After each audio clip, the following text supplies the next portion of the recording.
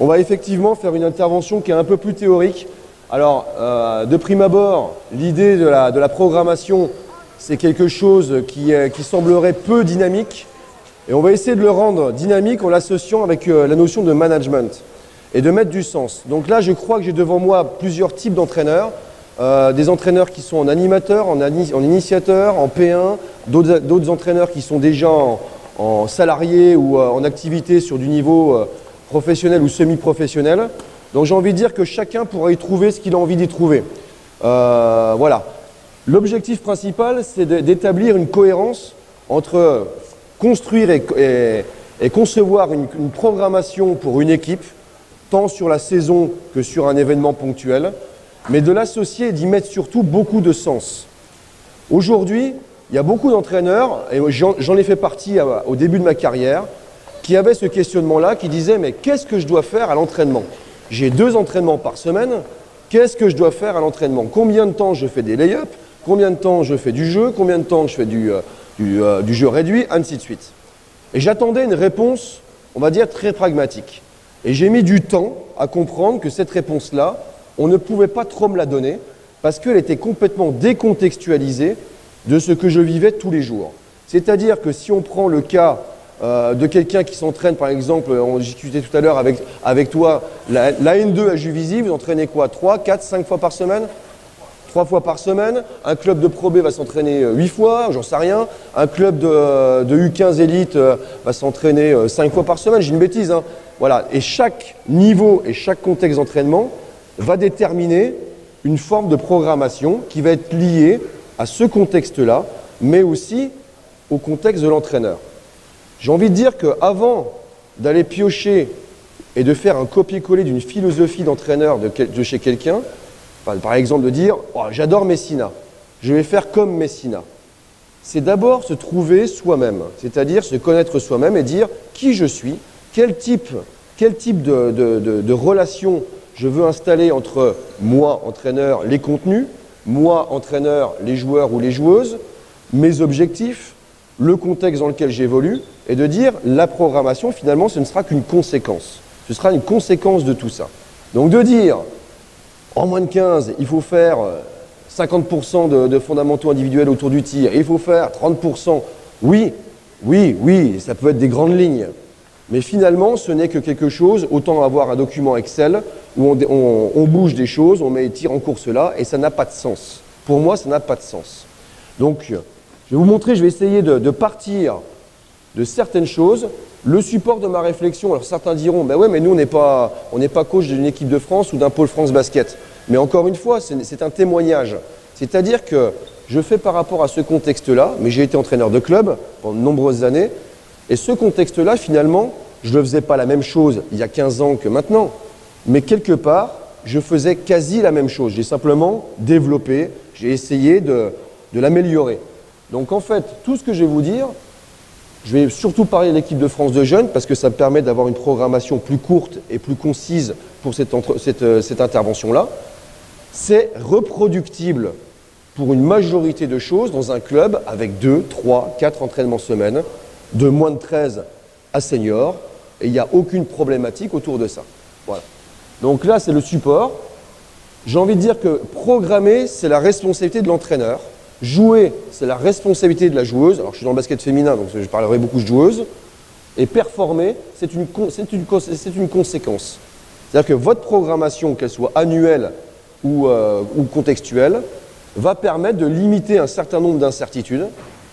Et à partir de là, vous allez inscrire les joueuses dans un cadre qui leur permettra d'être performants à court, moyen ou très long terme en fonction de l'âge qu'elles ont et de ce que vous avez comme objectif dans votre structure. La deuxième chose, c'est il faut prendre en compte les attentes générationnelles parce que manager et programmer ne peut pas être totalement séparé de la génération que l'on a. Moi, je suis euh, un jeune quarantenaire, on va dire. Euh, dans une, je suis dans une génération où on écoutait les maîtres. C'est-à-dire que le professeur parle, l'élève écoute, est discipliné et réalise les choses sans forcément s'interroger sur, ses envies ou sur les choses. Maintenant, vous comprenez bien que les nouvelles générations, ces générations qu'on appelle les générations Z ou milléniales, elles ont complètement changé. Pas en mal. Pas en mal, elles ont évolué. Et il faut en prendre compte, à mon avis. La deuxième chose, c'est prendre compte des composants de la performance, que j'appelle moi la loi de Pareto. Alors on y reviendra. C'est quoi la loi de Pareto? C'est un concept économique en fait, mais qu'on peut remettre au niveau du sport. Ça veut dire grosso modo, quand on est complètement incohérent, c'est qu'on passe 80% de notre temps et de notre énergie à essayer de réguler les 20% de ce qui est essentiel. Vous imaginez bien que c'est complètement stupide. C'est-à-dire qu'on dit, on va travailler 80% un truc qui sert pour, à, mesure de 20%. L'idée étant de coller ce qui est prioritaire doit être travaillé prioritairement. Ce qui est secondaire doit être travaillé secondairement, en termes de temps de travail, en termes d'attention, en termes d'énergie et compagnie. On va y revenir après. Associer des méthodes pédagogiques. Parce qu'on est sur de la pédagogie aussi, une programmation, elle doit prendre en compte les différentes choses dans la pédagogie. Vous avez vu tout à l'heure Pierre et, euh, Richard faire un travail technique.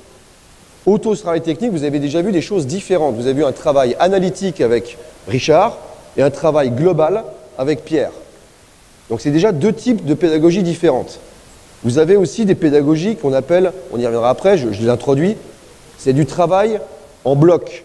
C'est-à-dire qu'on répète inlassablement un geste pour ancrer un geste. il y a le travail en système complexe, où là, on fait des choses où il y a beaucoup d'incertitudes. Et il est prouvé que le travail en système complexe permet de développer beaucoup plus de choses. Mais à partir du moment où c'est ancré. Donc en fait, il y a plein de choses comme ça qu'on peut relier qu'il faut prendre en compte.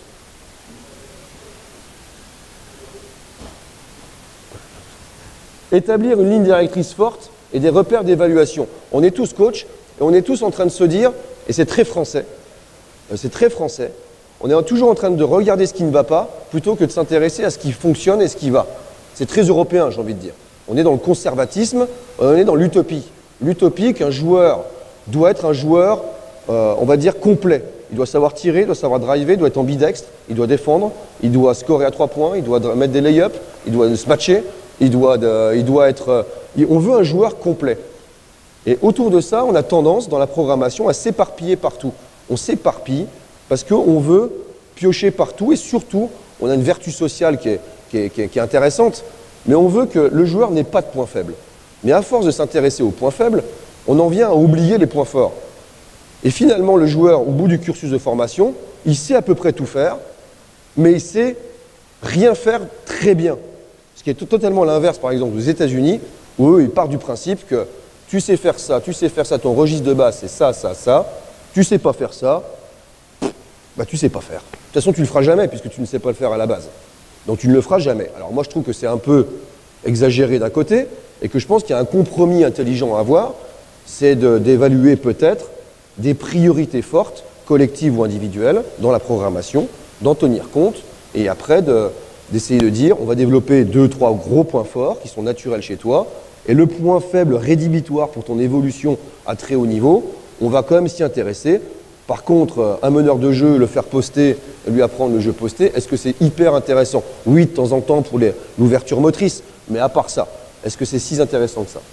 Voilà. Et organiser un fonctionnement dans lequel les joueuses et le staff seront acteurs majeurs de la construction. Ça, c'est essentiel pour moi. C'est l'appropriation. Et vous allez le voir, on va le relier avec les attentes générationnelles. Est-ce que vous avez des questions par rapport à ça? C'est un petit, peu euh, théorique, mais c'est pour poser le cadre des choses. pour moi, la première chose, c'est les attentes générationnelles. On est dans la génération Z actuellement. Les, personnes qui sont nées entre 99-2000 jusqu'à 2010. Voilà. Donc on est dans cette génération-là pour la plupart des jeunes joueuses et des jeunes joueurs qui ont entre, on va dire, 12 et 22 ans, grosso modo. Voilà. Donc c'est une majorité de joueurs que vous avez entre les mains. Cette génération-là, je l'ai résumé, elles ont besoin d'une communication, elles ont besoin de collaboration, elles ont besoin de connexion et de créativité. C'est-à-dire c'est une génération, garçon-fille, qui a besoin d'être responsabilisée totalement. C'est-à-dire que s'il n'y a pas de sens dans leur pratique, ils se déresponsabilisent et se désengagent de tout. Si on leur donne un contenu descendant en disant tu sais pas faire, je suis l'entraîneur, je vais te dire ce qu'il faut faire, ça ne fonctionnera globalement pas ou très peu. Voilà, le retour sera donc il faut essayer de trouver, par rapport à ces besoins de communication, de collaboration, un système de management, un système d'organisation qui en font des acteurs majeurs de leur entraînement. Voilà. Deuxième chose, on passe d'un management, enfin, on, est dans un management participatif maintenant et non plus autoritaire. on participe. C'est le projet de construction globale. C'est ce que, par exemple, au handball, Claude Onesta a fait avec son équipe de France. Les projets partagés, ça vient des joueurs, ça vient des joueuses. Moi, ça fait à peu près 6-7 euh, ans euh, sur les, équipes de France ou sur le pôle France que je fonctionne de cette manière-là. Voilà, je vous donnerai quelques exemples tout à l'heure ou des anecdotes. Et vraiment, l'effet est très puissant en termes d'évolution à la fois psychologique et personnelle de la joueuse et en termes d'évolution basket. Il y a un besoin d'équilibre entre la discipline et la créativité, parce que si vous écoutez ça, j'imagine que les entraîneurs que vous êtes disent Ouais, en fait, c'est l'anarchie, quoi. Chacun fait ce qu'il veut. Non, non. Il y a besoin d'un équilibre. Il y a l'équilibre nécessaire entre la discipline que le jeu demande, parce qu'il y, a besoin de discipline à minima, et le besoin de donner des espaces de créativité, des moments de créativité aux joueurs pour que ce soit non pas un compromis mou, mais quelque chose d'équilibré. Et il faut mettre du sens. Voilà, du sens dans toutes les actions. Voilà, rapidement, les, composants de la performance. Bon, je ne vous apprends rien, j'ai passé vite là-dessus. Il y a des habiletés physiques, des habiletés mentales, des habiletés techniques, des habiletés tactiques et des habiletés interrelationnelles. Comment vivre ensemble. Voilà. Donc ça, c'est les grande composante de la performance. Et ce que je disais tout à l'heure, nous, on veut que chaque joueur et chaque joueuse soit au plus haut niveau dans chaque domaine. C'est l'utopie. C'est de l'utopie complète. Il faut simplement faire en sorte, comme euh, un bouton de volume, que le niveau, on peut avoir des qualités, une, une, joueuse qui a des qualités physiques extraordinaires, mais qui a des qualités techniques relativement moyennes. L'idée est de dire, ne passe pas en dessous du niveau minimum. Mais par contre, on va essayer de développer deux, trois choses, mais on sait très bien que ça va être d'abord ça, puis ensuite ça que tu vas devoir maîtriser. Mais on ne sera jamais au même niveau. Voilà. Mais c'est des composants de la performance. Donc si on prend en compte euh, ça, et cette troisième chose qu'il faut engager et comprendre, c'est qu'est-ce que c'est que le cœur de la performance autour des habiletés qu'on a montrées avant. On a fait une étude sur 10 ans de compétition internationale. Filles, garçons, jeunes, seniors, de moins de 16 à seniors, championnat du monde, championnat d'Europe, Euroleague, Eurocoupe, parce que c'est de là que vient la, performance. Et en fait, on s'est aperçu que voilà, pour avoir, alors quand je dis sur un podium, c'est de terminer d'être performant en fait, c'est l'idée de performance. Si, à la fin d'un match ou d'un championnat, votre équipe a maîtrisé 75% de ses rebonds défensifs. C'est-à-dire qu'elle a récupéré 75% des tirs manqués de l'adversaire. En retour, elle a récupéré 40% de ses tirs manqués. C'est-à-dire on tire, on rate 10 tirs et on récupère 4 rebonds off. Si on encaisse 12 points maximum, le chiffre peut être différent, là c'est sur le niveau international, un peu plus élevé sur un niveau, sur le jeu rapide, c'est-à-dire si on, force l'équipe adverse à attaquer sur le demi-terrain. Si en U16, on perd 18 ballons max, en U18, 16 max, en U20, 14 et en senior, 12 balles perdues maximum par match, et si on arrive à tirer 16 lancers francs minimum à 70% de réussite par match, on a 90% de, de chances de performer. Maintenant, je vais vous poser une question. Le rebond def, combien de temps vous y passez? Box out, focus sur euh, l'intention de rebonder, le travail d'équilibre défensif, garder son 1 contre 1 pour ne pas rentrer dans les rotations et pas déséquilibrer le rebond défensif. Combien de temps vous vous y consacrez par entraînement ou par semaine? Combien de temps vous consacrez à la transition attaque-défense? C'est-à-dire j'attaque, on tire et derrière, qui va au rebond off, comment on organise le rebond off et comment on organise le repli défensif. Combien de temps? Quel type de situation vous mettez en place pour que la transition attaque-défense soit vue le plus souvent possible? Combien de temps on développe, on développe vraiment l'idée de relationnel passe entre les, joueurs sur le terrain, les relations extérieures-intérieures, intérieur-extérieur, faire briller la partenaire, euh, être capable d'être dans un équilibre, prise de risque dans la passe et, et ne pas rendre inutilement et gratuitement le ballon à l'adversaire.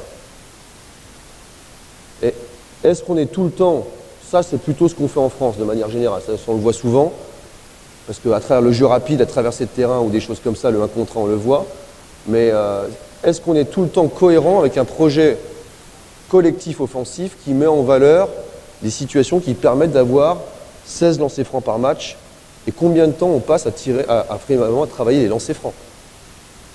Donc, vous regarderez, je pense, quand je pose la question aux joueuses qui arrivent au centre fédéral, et après 4 matchs, on prend 30 rebonds off sur la tronche euh, après un match, je leur dis, mais le box-out, ça te dit quelque chose? Boxer une joueuse en rebond, c'est une notion que tu as vue, que tu as déjà vue? Non. Donc jamais. La conséquence de la programmation, c'est ça.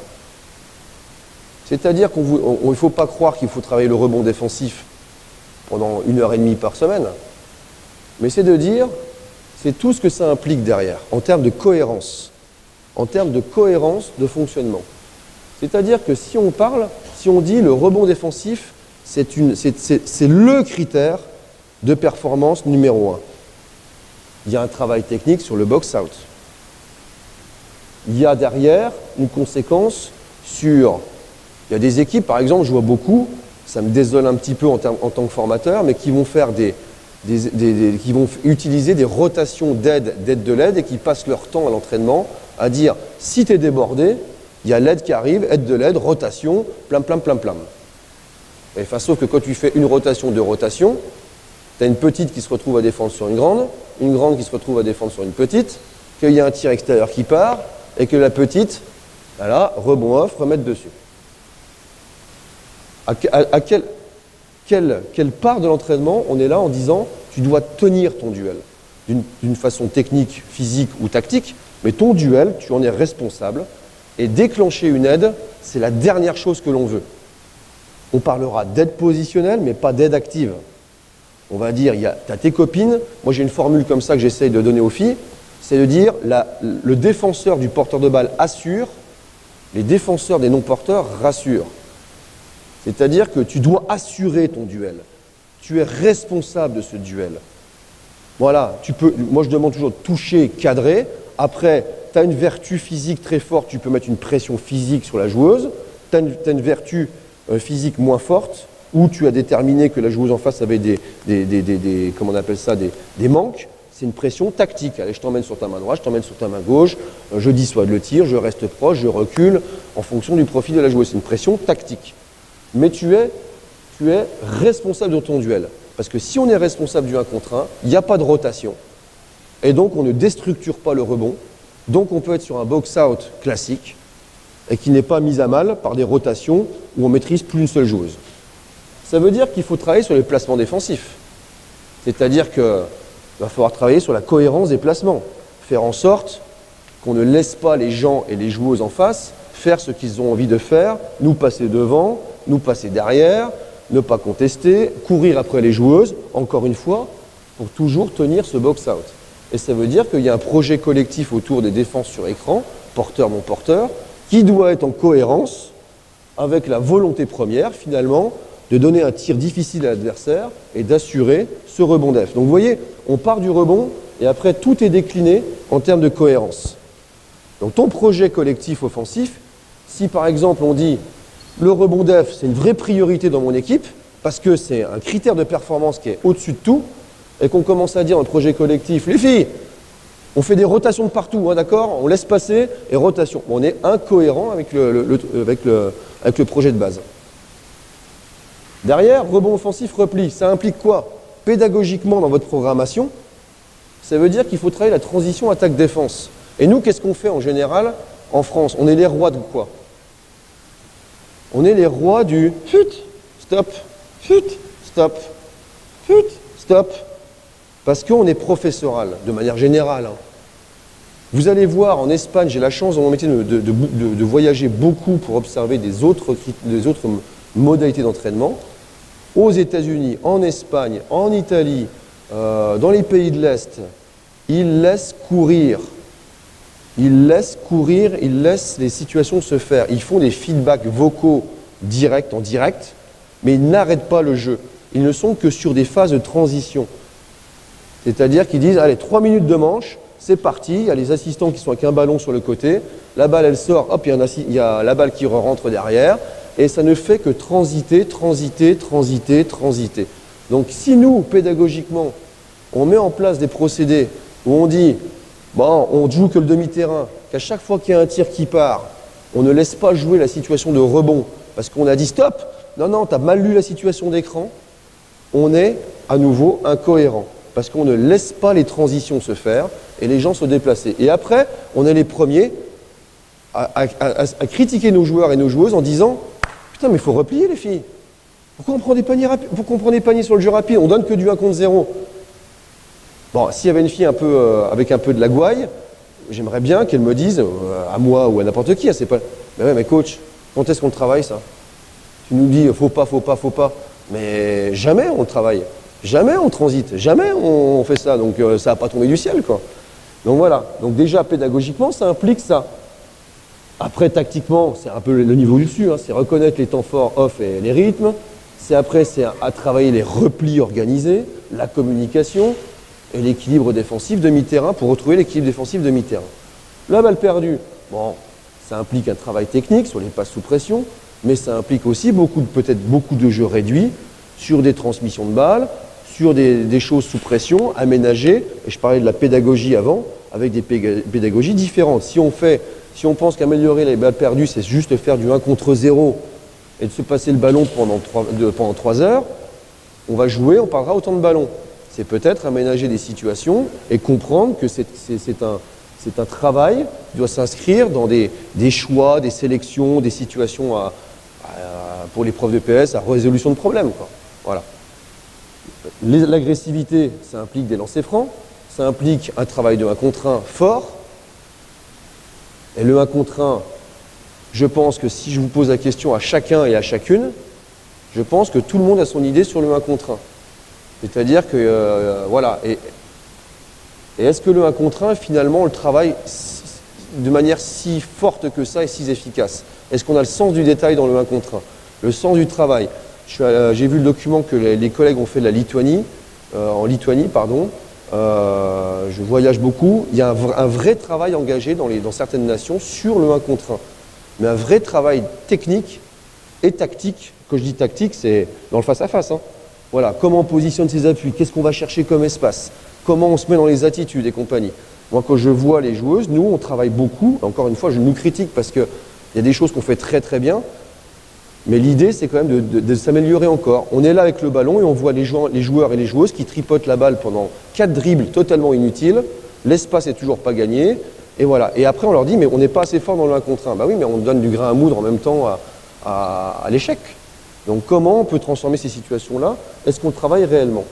L'intention de jeu vers le cercle. Et après, bah, c'est si on fait jamais de jeu rapide, c'est quand même une situation intéressante pour récupérer l'agressivité donc des lancers francs et des organisations offensives qui sont pertinentes autour de ça. Voilà. Donc voilà toutes les implications.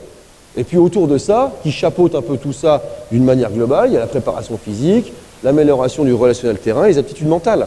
Mais ça, ça vient chapeauter les choses d'une manière complémentaire. À mon avis, le cœur de notre métier, le cœur de notre programmation, par rapport à mon expérience, ça fait euh, maintenant 10 ans, 11, euh, non, 11, campagnes, 11 campagnes internationales que je fais. À la fin de ces campagnes-là, ce qui est vrai en campagne internationale, vous allez me dire, oui, mais c'est les équipes de France. Non, non, c'est le même basket qu'on pratique. Hein. Simplement, c'est pas le niveau que vous rencontrez entre vous, c'est le même, finalement, le, même euh, rapport de force que je rencontre, moi, en compétition internationale. C'est pareil. Hein. Les problématiques sont les mêmes. Sauf que c'est avec des gens qui font 90, 95, qui ont un peu plus d'expérience, tout ça, mais c'est la même chose, on rencontre les mêmes problématiques. Donc ce que je vous dis là, c'est que sur le basket en général, c'est ces quatre points-là qui sont les choses les plus importantes à gérer. Donc on n'a toujours pas parlé de forme de jeu, on n'a pas parlé de travail collectif, on n'a pas travaillé de machin. Ce n'est qu'une conséquence logique et cohérente. Est-ce que vous comprenez où je veux en venir? Parce que moi, je, c'est mon petit truc, c'est mon petit dada, donc euh, j'arrive bien, mais je ne sais pas si j'arrive à l'exprimer euh, d'une manière claire. ouais Voilà. Voilà, donc je parlais de la loi de Pareto, bah, parce que si ces cinq éléments qu'on a vus, rebond off, rebond def, balle perdue, agressivité et repli défensif pour qu'on pour, euh, on, on dit que c'est le cœur de la performance, bon bah alors il serait pertinent d'y consacrer une majorité de temps à l'entraînement. Ça veut dire que grosso modo, moi, c'est ce que j'essaye de faire, mais comme je suis français de nature, j'ai toujours j'ai cette valence où je veux tout faire aussi, c'est un travail sur soi. Euh, j'ai des petits rappels sur mon carnet d'entraînement, je me dis non, travaillez ça, travaillez ça, parce que même après 7 ans, c'est pas encore inscrit. Et ben 75% du temps d'entraînement, il est consacré au perfectionnement de ces facteurs de performance. Donc sous toutes ses formes.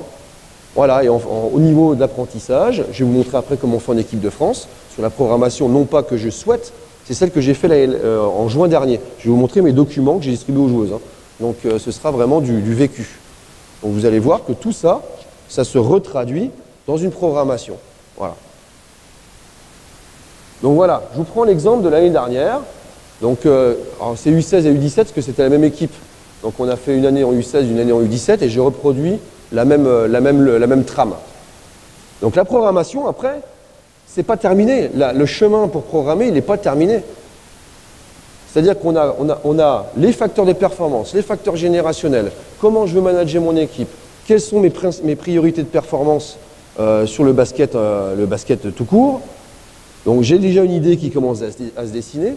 Et je vous montre maintenant comment j'ai construit la stratégie de la construction de l'équipe de France euh, donc c'est les 2001, c'est la génération Fautou, Rupert, euh, Chéri, Wadou, euh, toutes ces joueuses-là. c'est la troisième année que je les ai cette année. Et donc pendant les deux premières années, on a construit comme ça. C'est-à-dire que, bon, ça, regardez pas, j'ai fait un copier-coller d'une diapo. Mais par exemple, c'est des phases. En phase 1, au mois de février, c'est la pré-préparation, dynamique et construction du staff. Je manage mon staff, avec qui je veux travailler, quel type de personnalité doivent me compléter? Moi, j'ai une personnalité, je suis jaune-orange, euh, si vous êtes intéressé par les com-colors. Moi, je suis jaune-orange. Bon, donc ça veut dire euh, beaucoup sur l'affect, le ressenti, euh, l'empathie, voilà. Donc quelqu'un qui n'est pas très rationnel finalement, même si vous avez l'impression que je le suis, mais je ne le suis pas. donc comment j'avais besoin, moi, de quelqu'un qui soit mon opposé, un psychorigide, quelqu'un qui me dit non, non, non, non, il est 8 heures, il n'est pas, non, non, voilà, j'avais besoin de ça, j'avais besoin de, mon allié, j'avais besoin de quelqu'un qui soit différent. Donc en fait, j'ai un staff de 7 personnes, et donc c'est la, construction de mon staff. Mais ça a des conséquences sur la programmation, parce que tu, ben, en fonction des moments, de ce que tu veux amener, tu vas mettre plus, ces personnes-là sur, euh, sur ce type de situation. Tu sens que, allez, il faut déterminer des choses qui sont très rigoureuses, ben, tu vas mettre le psychorigide sur les choses où il n'y a pas de négociation. Tu vas mettre l'empathique sur les choses où on peut négocier, où il y a un champ de machin. Ben, voilà. C'est là-dessus. Positionnement des joueuses, c'est-à-dire que je pars de la stratégie de sélection, de la détection, de la projection. On détecte un certain nombre de joueuses, on téléphone à tous les centres de formation de France et de Navarre, on fait le tour de France des joueuses, on fait un grand listing euh, non exhaustif, et puis à partir de là, on dit voilà, comment je peux me projeter avec mes joueuses majeures que je connais déjà, donc j'ai mon cœur d'équipe, puis après j'ai besoin de complémentarité, il y a des complémentarités que je connais, et puis il y a des gens que je ne connais pas. Donc c'est l'évaluation après. Ensuite, on a un tournoi qui est un tournoi, un rassemblement. Là, cette année, par exemple, il y a deux semaines, j'étais à un flagrant avec l'équipe de France U18, donc ça remplace le tournoi du Poissonnet. On met en place des séances types, c'est-à-dire les séances où on estime que dans cette programmation de séances-là, les joueuses vont pouvoir s'exprimer, optimiser leur potentiel et optimiser leur motivation. On affine le fonctionnement du staff, les vidéos, les rôles, la cohérence, on met en place le projet collectif sur les bases, mais regardez, les bases déjà, on a le jeu rapide, c'est-à-dire la volonté d'être agressif pour avoir 16 lancers francs par match et compagnie, blablabla. On est sur la défense, le repli, banquer 12 points, le rebond, les principes et les pick and roll de règles, les, règles du pick and roll, c'est-à-dire pour être cohérent collectivement sur nos bases de ce que je vous ai montré juste avant. Donc déjà, on commence par ça. On positionne les joueuses par rapport à la saison en cours, on s'interroge, quel poste, comment tu veux jouer, comment tu vois la préparation, comment tu vois les choses, euh, quel rôle tu voudrais utiliser, à quoi tu prétends. On part de la joueuse. moi, je pars pas de moi. J'ai mon idée et je vois si ça match. je disais, je sais plus à qui je disais tout à l'heure. Voilà, c'est le Tinder du basket. Voilà, il faut que ça matche. Il faut que ça matche. C'est-à-dire que si moi j'ai une idée et que l'autre a une idée différente, on va, on, va, on, va, on, va, on va parler, on va voir si on se retrouve, si moi je me déplace ou si c'est elle qui se déplace. Si ça ne matche pas, ça va être compliqué. Si ça matche, par contre, voilà. Et la plupart du temps, 95% du temps, l'idée qu'on se fait des joueuses, c'est à peu près ce qu'elles se font d'elles-mêmes. Voilà. Les objectifs, euh, les objectifs et valeurs, parce qu'une programmation, elle doit prendre en compte ça. L'objectif, c'est quoi? On vient dans un championnat d'Europe, un championnat du monde pour faire quoi? Euh, pour jouer vous faites un championnat de, France U15, vous faites un championnat interrégion U15, vous faites un championnat, peu importe.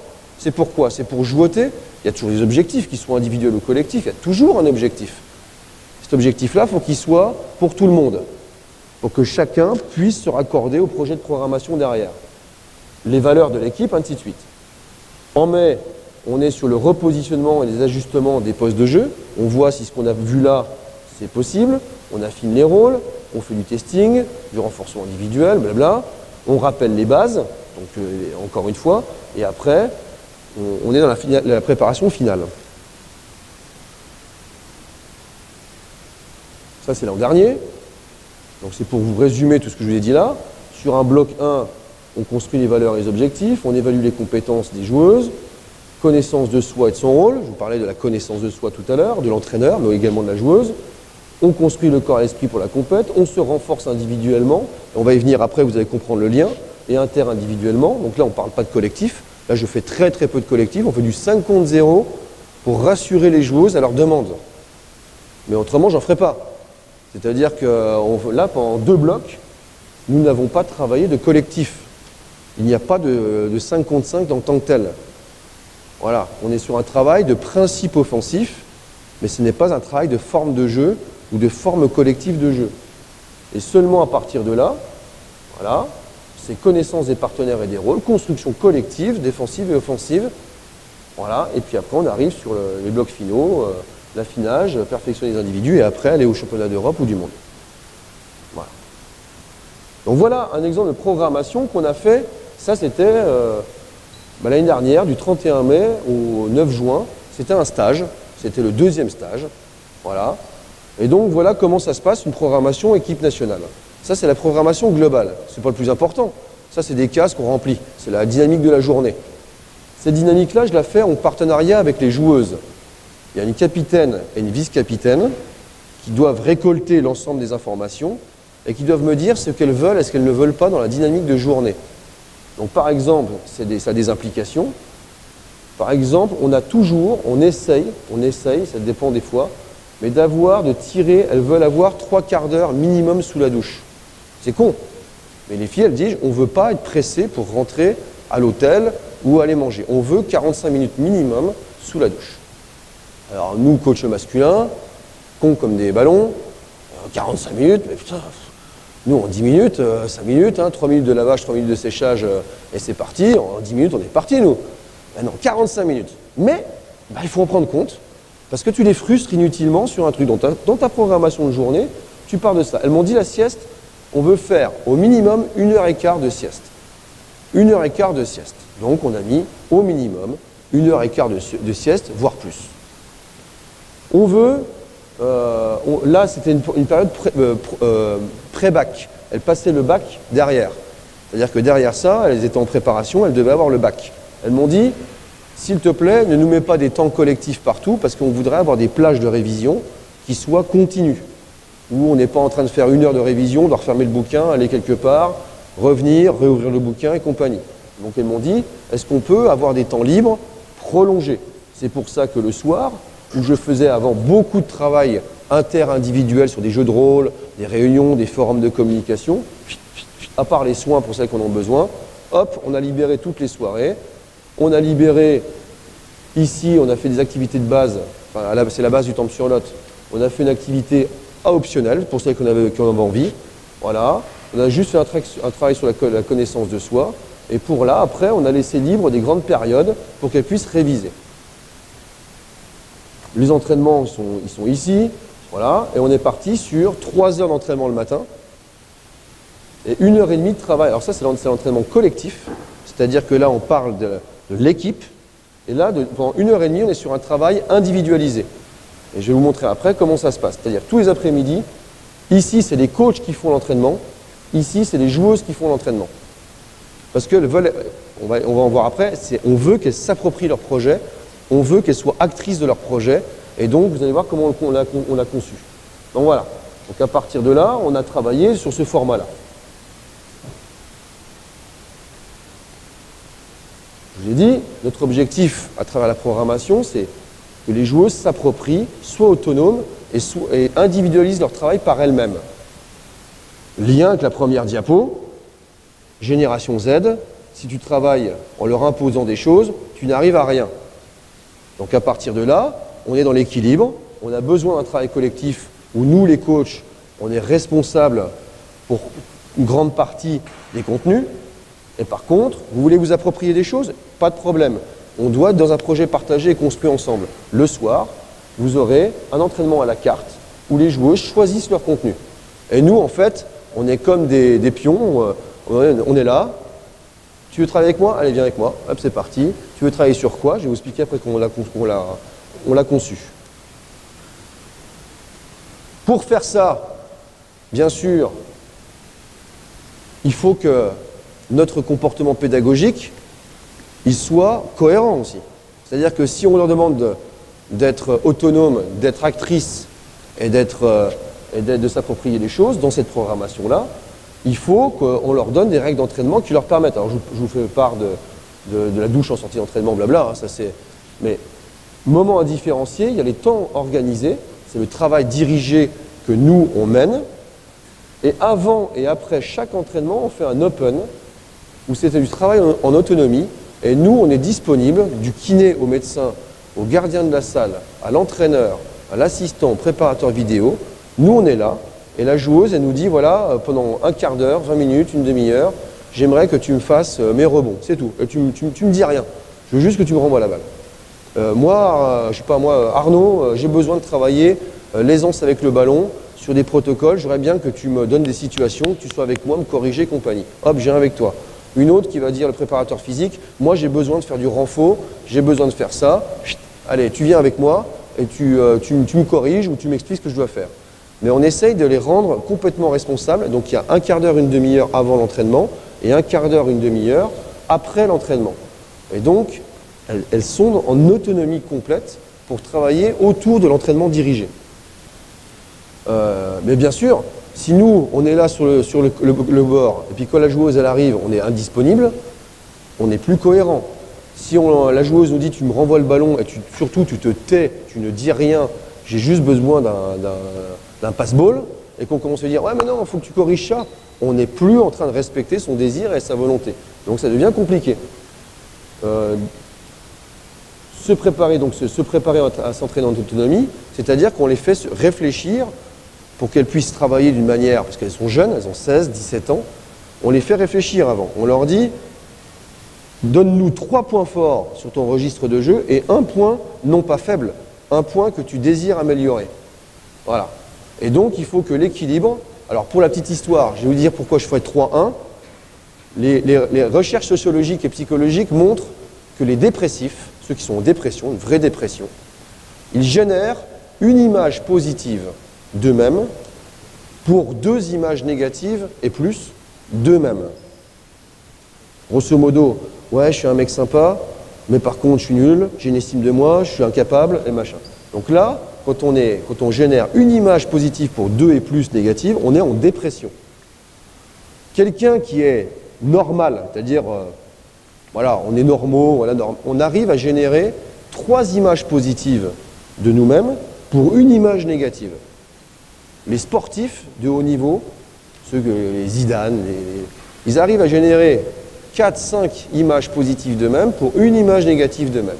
Et les rois de l'estime d'eux-mêmes, c'est les, on appelle ça les bouddhistes, non pas les bouddhistes, les, euh, euh, ceux qui font la méditation, qui arrivent à générer plus de 7 images positives d'eux-mêmes pour une seule image négative d'eux-mêmes. Donc en fait, moi je reprends ce, ce schéma-là et je dis, si tu dois générer de la confiance, générer l'autonomie, générer de la progression, générer des choses, tu as trois points forts à me donner, un point, un point. Voilà. Donc tu te débrouilles, tu, fais, tu prends euh, le, document d'avant, distribue aux filles, bien sûr, celui-là. Voilà, tu as des open, à tous les entraînements il y a des open. Tu organises, tu sais que tu as 20 minutes, une demi-heure là, un quart d'heure là. Tu me, tu me dis, voilà, quels sont tes points forts, quels sont tes points faibles, et quand est-ce que tu désires les travailler. Et nous, on est simplement en train de dire, là, par contre, tu es en train de te mettre une balle dans le pied, tu es en train de travailler 90% du temps un truc que tu ne maîtrises pas. Est-ce que tu vas vraiment l'utiliser en match? Est-ce que tu vas vraiment baser ta performance dessus? Donc bon, on va peut-être essayer de rééquilibrer ça, mais après, eh ben, nous, on est juste là pour la cohérence.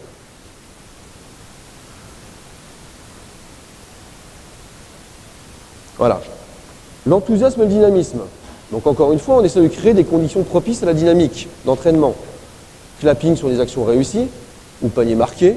Donc là, des fois, c'est très artificiel. Là, c'est un petit peu le côté américain que j'aime pas trop, mais que euh, je trouve qui apporte beaucoup de choses.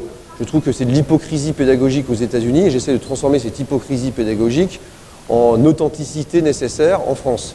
C'est-à-dire que vraiment, je me dis, on a besoin de s'applaudir, on a besoin de générer un enthousiasme collectif. Il n'y a rien de pire, vous, le savez mieux que moi, d'arriver dans une salle où les joueuses, allez les filles, on va, on va, on va, on commence l'entraînement. Ouais.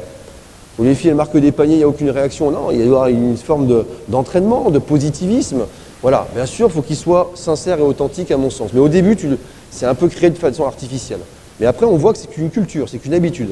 Parce que ça va, à la fin, le font d'elles-mêmes. Des huddles. Les huddles, c'est les regroupements d'équipes.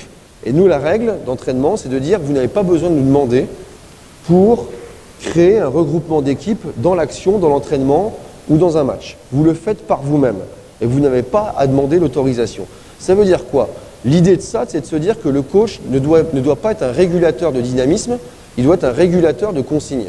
C'est-à-dire que nous, on doit s'intéresser au contenu et pas à la forme. Et moi, je responsabilise les joueuses en leur disant la dynamique d'entraînement vous appartient. Elle vous appartient. C'est-à-dire qu'il y a des leaders, il y a des capitaines, des vice-capitaines qui sont là pour regarder, estimer, évaluer le fait qu'elles ne sont pas rigoureuses. On est rigoureux ou on ne l'est pas? On est attentif ou on ne l'est pas? On est concentré ou on ne l'est pas? On est investi ou on ne l'est pas? À partir du moment où il y, a, des échecs répétés, où euh, ça leur semble bizarre, elles arrêtent la situation, mais sans m'en parler, elles arrêtent, elles font stop les filles, venez. Et nous, bah, même si on était en train de parler, hein, on est en train de faire Ah bon, d'accord, très bien, on fait trois pas en reculons. Et à partir de là, un, elles se regroupent, les leaders prennent la parole, disent Les filles, on est en train de faire quoi là? Et à partir du moment où ce sont les joueuses qui se régulent elles-mêmes, par elles-mêmes, pour elles-mêmes, dans une situation d'entraînement, je vous, vous pouvez me croire sur parole, c'est une, une, d'une puissance extraordinaire pour l'appropriation d'un projet, leur façon de le vivre. Et là, toi, tu es là, et finalement, grosso modo, le message que je veux vous dire, c'est que moins on en fait à l'entraînement, mieux on entraîne, en fait. C'est-à-dire, moins on parle, mieux on entraîne. Ça veut dire que les joueuses, elles ont tout compris. Donc voilà, euh, des initiatives d'entrée ou de sortie d'entraînement, c'est-à-dire qu'on leur donne des fois des entraînements à la carte, c'est-à-dire votre entrée, c'est vous qui la faites. c'est vous qui créez votre truc, parce que hier c'était pas terrible, donc peut-être qu'on s'est planté, peut-être qu'on n'a pas voilà, faites votre entrée d'entraînement, vous avez 20 minutes, elles vous appartiennent. Et hop, vous la concevez pour demain, et puis vous vous débrouillez, il faut, que ça, faut que ça tourne. Donc tout ça, c'est à inscrire dans une programmation qui n'est pas forcément par case, avec des cases et un calendrier et des jours et des, heures, mais qui doit être dans une programmation didactique et pédagogique. Et pour vous, les entraîneurs, moi j'ai mis du temps à le comprendre, et maintenant, euh, oui, je suis plus tout jeune, tout jeune, je commence euh, depuis quelques années, à vraiment saisir l'importance de ces choses-là et de me dire mais j'ai été con en fait auparavant d'être très pragmatique, de mettre euh, machin. C'est intéressant le pragmatisme, on peut commencer par ça, mais je pense qu'il faut s'en dédouaner assez rapidement. Voilà, la programmation d'entraînement maintenant pure, ça c'est le cas d'un entraînement, vous voyez c'est le 2 juin, c'est le matin, l'après-midi, là c'est off. On, euh, on fonctionne sur la façon suivante. Les règles d'entraînement que vous faites un stage par exemple, ou un camp, euh, vous savez que le corps humain, en fait, grosso modo, nous, on, fait trois demi-journées de travail pour une journée de repos. Trois demi-journées de travail, une demi-journée de repos. Trois demi-journées de travail, une demi-journée de repos. Ça permet de limiter la fréquence des blessures. Ça permet aux joueuses de se régénérer à minima et de faire autre chose que du basket, c'est-à-dire rien faire ou faire quelque chose de différent. Donc des fois on passe en 2-1, c'est-à-dire deux demi-journées d'entraînement, une demi-journée de récup, juste pour que la demi-journée ne soit pas l'après-midi, mais le matin, ou pas le matin, mais l'après-midi. Voilà, juste pour changer l'ordre des, choses. Donc là, c'était une, journée où ce n'était pas un entraînement, quotidien, bi-quotidien, mais juste un entraînement le matin. Donc voilà. de 10 à 13 heures, elles ont entraînement, 3 heures d'entraînement. Donc elles ont, avant, à 9h45, elles ont 15 minutes d'open. Derrière, on fait une entrée prépa physique. Et vous avez vu, mise en route à la carte. Donc là, c'était, on avait décidé de leur laisser l'initiative de leur mise en route physique. Donc elles ont des fiches de protocole, elles ont des petits exercices qui sont affichés en gymnase. Et en fait, c'est elles qui vont piocher dedans et qui disent bah, on va faire 5 minutes ça, on va faire 10 minutes ça, on va faire 5 minutes ça. Et puis on va le faire de cette manière-là. Donc après, elles s'organisent.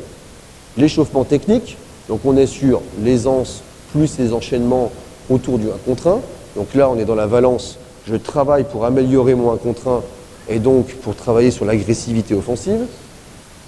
Voilà, les intérieurs, Mikan plus enchaînement sans plus rebond. À chaque fois, le rebond off est intégré dans chaque situation. Pourquoi On revient au gros tableau avec toutes les couleurs pour travailler sur le repli défensif. Je tire, je suis mon, rebond. Et pour inscrire ça dans, les gènes et l'ADN du joueur.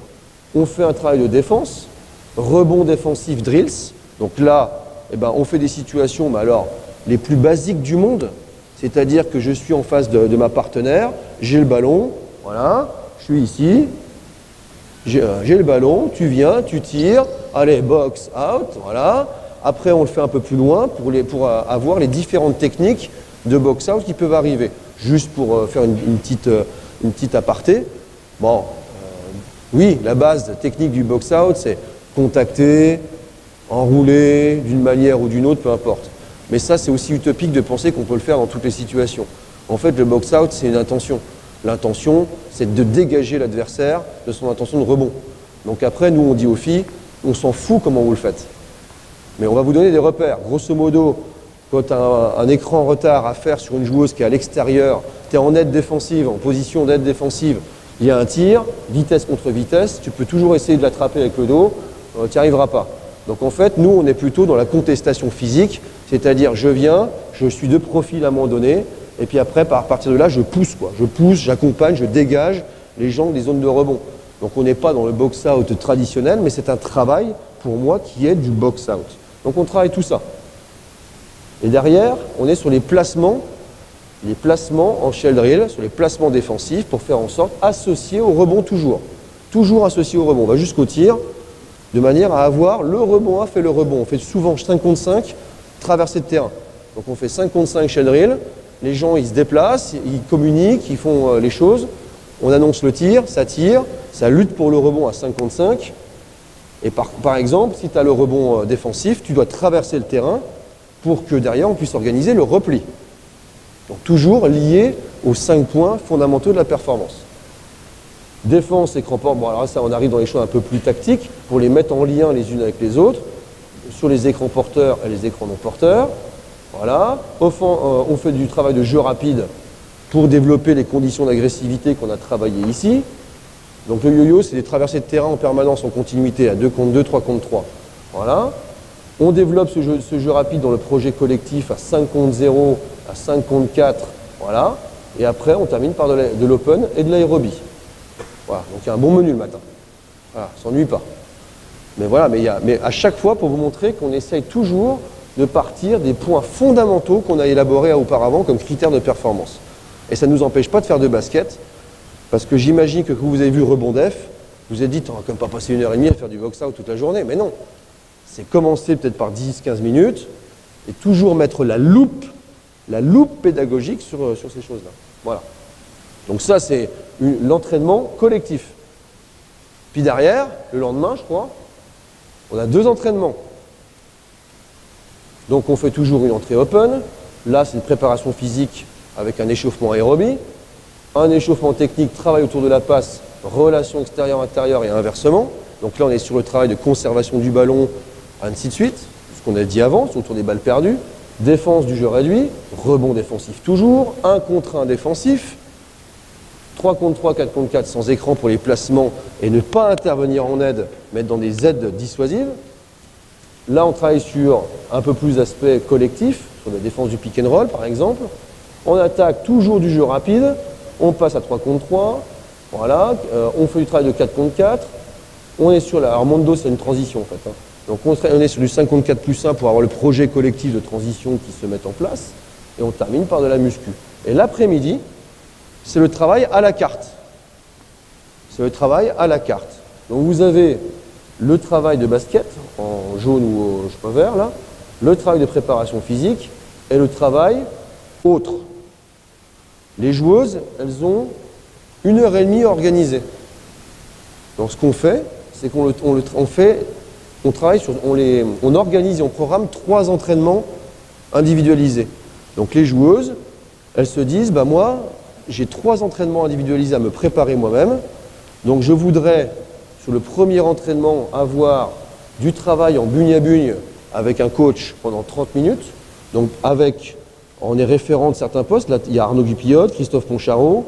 Euh, là, c'est qui? C'est EP, c'est qui ça? Euh, Merde, je me suis planté ou quoi? Euh, Ah, Elise Prodome, oui, qui était, oui, voilà, qui remplaçait un, collègue. Voilà, tout ça, le kiné, le doc, le, préparateur physique, ainsi de suite. On se met là, et les joueuses, elles disent, bah moi, en 1, je veux travailler avec toi, Arnaud, sur cette thématique technique pendant 30 minutes.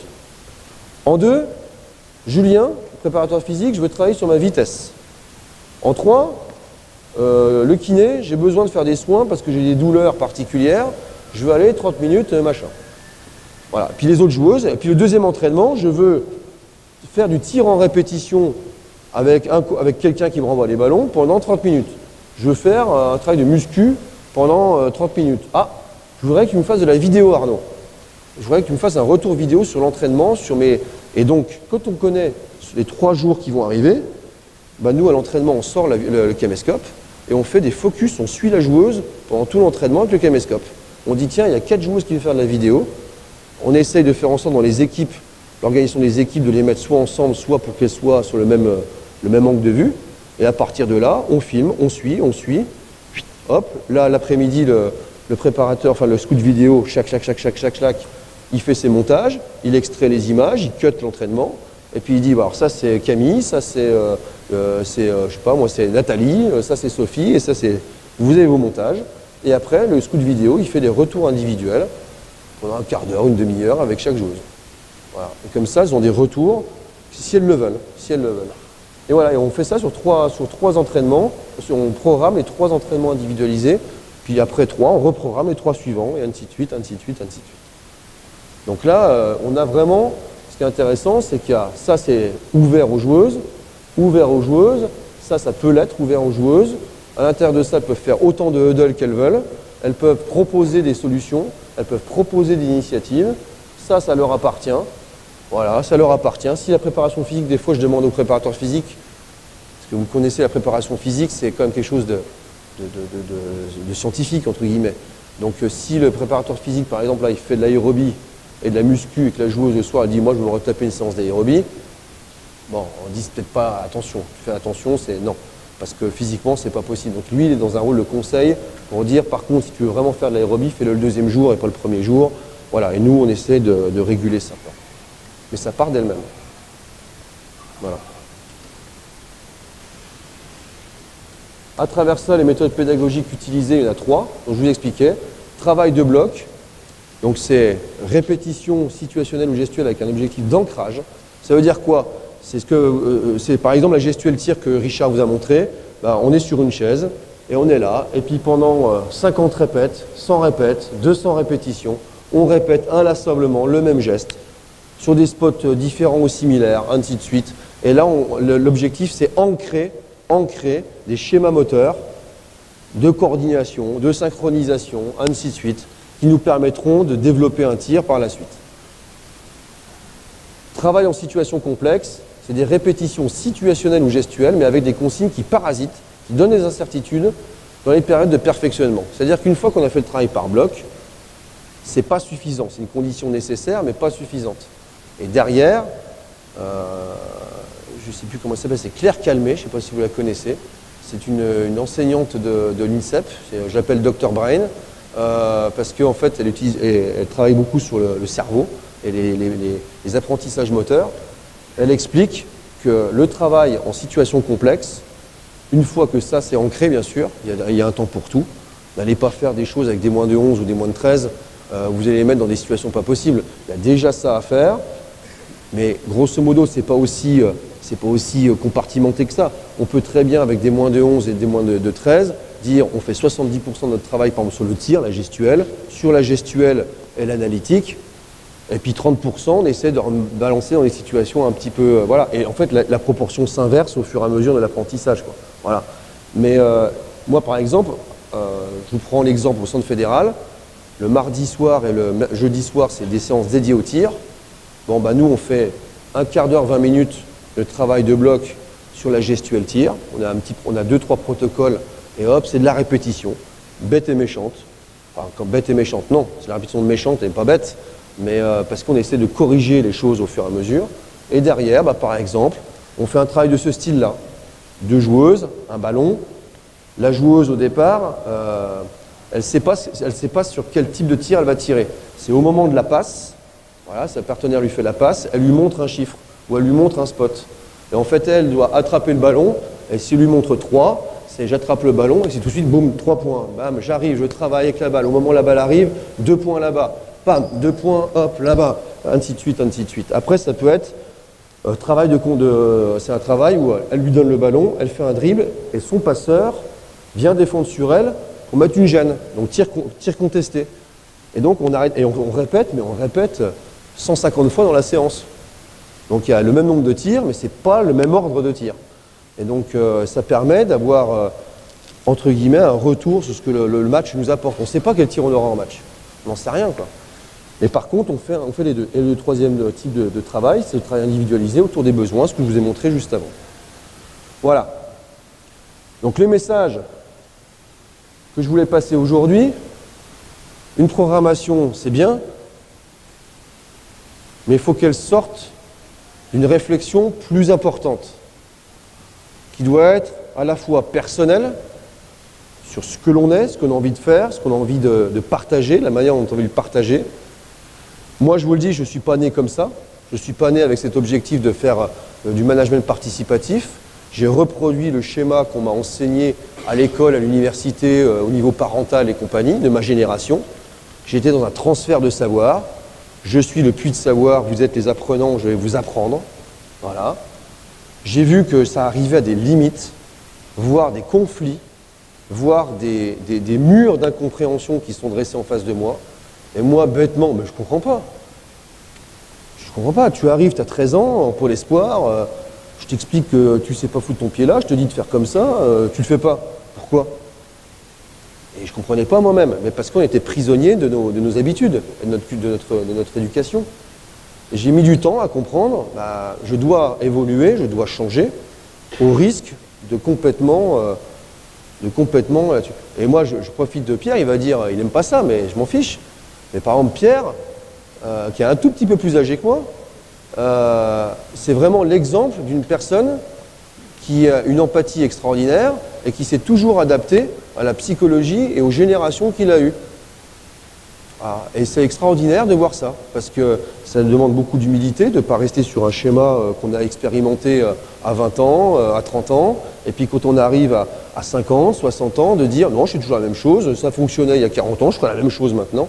Et Pierre, c'est tout ça, c'est tout sauf ça, et c'est quelqu'un d'extrêmement euh, comment dire, à la fois humble et, et, de, valeur, justement, parce que pédagogiquement, moi, chaque fois que je t'ai vu en action, que j'ai vu les choses, c'est ce qui transparaît, c'est faites votre travail, les joueurs. Moi, je fais le mien là, mais vous, c'est à vous de le faire, quoi. Et quand vous voyez des coachs, euh, je ne sais pas, je n'ai pas non plus euh, cité des gens, mais des gens qui sont plutôt dans doigt sur la couture, le machin comme ça, on bouge plus, on est ici, il n'y a rien qui bouge, c'est moi qui sais, les règles sont comme ça, c'est l'armée. Et ça, j'ai envie de dire, ça ne, ça ne fonctionne plus. Ça fonctionnera temporairement, mais ça ne fonctionnera pas durablement. Donc voilà, faire avec ce qu'on est, faire avec ce que les gens sont, essayer de comprendre dans quelle catégorie on, gère, quel contexte on a, moins de 13, moins de 12, euh, apprentissage, perfectionnement, la formation euh, basique, la formation un peu plus euh, développée, du senior, il faut une performance, mettre des objectifs quand même par rapport à ça, et après essayer de comprendre que c'est surtout pour moi le plus important, c'est ça. Hein. C'est ça. C'est comprendre que les points de départ de toute performance basket, ils sont à peu près Et ça, le, 80% des entraîneurs que je rencontre dans mon métier, dans les équipes, ils sont d'accord avec ça. Quoi. Ils me disent, mais nous, euh, voilà, euh, si tu maîtrises pas ton rebond, que tu encaisses des points en jeu rapide, que tu fais ça, mais tu perds le match. Et ton adresse à trois points peut te sauver sur un match ou deux, mais elle va pas suffire. Euh, ta stratégie défensive va te sauver sur un match ou deux, mais elle suffira pas pour avoir un résultat durable. Et donc ils sont tous d'accord avec ça. Après, moi, je n'aurais pas trop parlé de ce que je faisais derrière, parce que ça me regarde. Mais euh, derrière, on peut tout développer, mais il faut que ce soit en cohérence avec ça. Et votre programmation, qui je suis, qui sont les autres, quels sont leurs besoins, quel est mon objectif, ça c'est le plus important. Et après, vous déclinez votre philosophie basket autour de ça, mais en cohérence avec ça. Qu'on fasse, euh, qu'on fasse, euh, qu'on dise je vais faire 10 minutes là, un quart d'heure là, trois quarts d'heure là, c'est pas forcément le truc. Et qu'on ait deux entraînements par semaine ou du bi-quotidien, c'est possible de le faire. Il suffit simplement, après, c'est comme un, DJ qui est devant sa, console, c'est de dire, allez, je mets plus de volume, je mets plus de basse, je mets plus d'aigus, je mets plus de machin. C'est-à-dire que bah, je mettrai moins de ça, je mettrai moins de ça, je mettrai plus de ça. C'est après, c'est voilà, on essaye d'équilibrer les choses, euh, mais en relation prioritairement avec ces choses-là. Voilà. Et une programmation après qui, vous permet de coller aux attentes, de rendre les joueuses actives et, précises. Voilà. Et dernière diapo pour la petite euh, citation. J'aime bien terminer par une petite citation. On va y arriver. Voilà. Pour accomplir de grandes choses, nous devons non seulement agir, mais aussi rêver, et non seulement planifier, mais aussi croire. Voilà. Croyons en ce que nous faisons, rêvons, agissons, et ensuite planifions. Merci à vous.